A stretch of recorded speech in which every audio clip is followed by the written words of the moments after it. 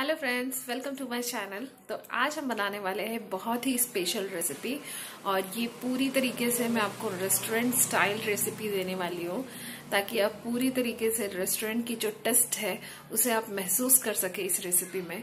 तो आज हम बनाने वाले हैं मशरूम मसाला जो बहुत ही स्पेशल और बहुत ही डिलीशियस रेसिपी है। तो अगर आप मेरे चैनल में नए हैं तो चैनल को लाइक एंड सब्सक्राइब किए बिना मत जाइए। और अगर रेसिपी पसंद आए तो फीडबैक देना बिल्कुल मत भूलिएगा। तो चलिए स्टार्ट करते हैं। हर किसी को मशरूम मसाला खाना बहुत पसंद है। तो चलिए स्टेप बाय स्टेप मैं आपको इसकी रेसिपी बताती हूँ, जो बहुत ही सिंपल है। तो एक कढ़ाई लेनी है। आपको उसमें चार चम्मच तेल गरम करना है। जब तेल अच्छी से गरम हो जाए तो आप इसमें आधा चम्मच जीरा डाल दें। उसके बाद हम कुछ खड़े गरम मसाले डालेंगे। तो आपको अगर इसकी रिटर्न रेसिपी चाहिए तो आप मेरे डिस्क्रिप्शन में चेक कर सकते हैं। ये थोड़ा सा सॉटे हो जाने के बाद इसमें हम दो चम्मच लहसुन अदरक का पेस्ट डालेंगे। इसे भी हमें थोड़ा सा भून लेना है, ताकि इसका कच्चापन जो है, वो निकल जाए। ध्यान रखें, ये मसाले भूनते समय आपका फ्लेम जो है, वो लो पे होना चाहिए, ताकि मसाले जले ना और अच्छे से भून जाए।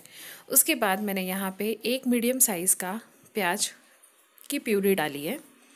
इसे अच्छे तरीके से मिक्स कर ले और इसे तब तक भूनना है जब तक इसका कलर ब्राउन नहीं हो जाता। उसी के बीच में मैंने यहाँ पे दो कटी हुई हरी मिर्च डाली है।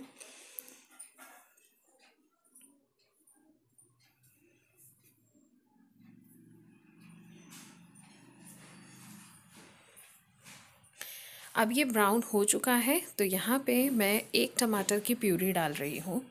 टमाटर मैंने मीडियम साइज़ का लिया था।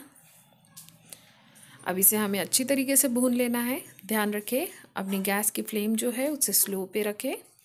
उसके बाद इसमें मैंने आधे चम्मच हल्दी पाउडर और एक चम्मच लाल मिर्च पाउडर डाला है।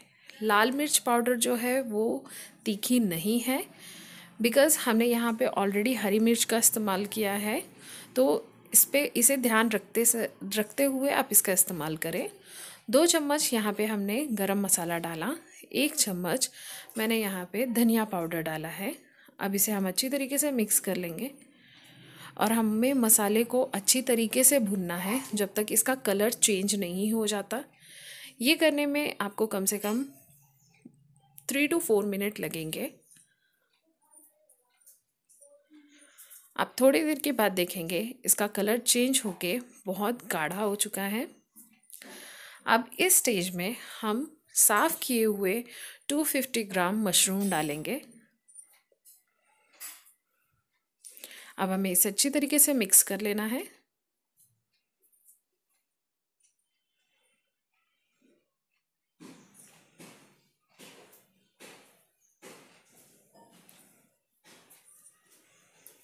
उसके बाद मैंने यहाँ पे सात से आठ काजू लेके उसका थोड़ा पानी डाल के उसमें उसका पेस्ट बना लिया था, वो मैं डाल ले रही हूँ उसमें।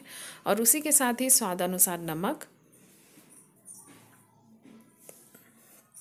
इसे अच्छी तरीके से मिक्स कर ले। आपको ग्रेवी थोड़ी वाइट दिख रही है तो वो काजू की वजह से, लेकिन बहुत ही स्मूथ बनेगी काजू की वजह से इसकी ग्रेवी तो अब हम इसे ढक कर कुक करेंगे। Seven to eight minute in medium flame.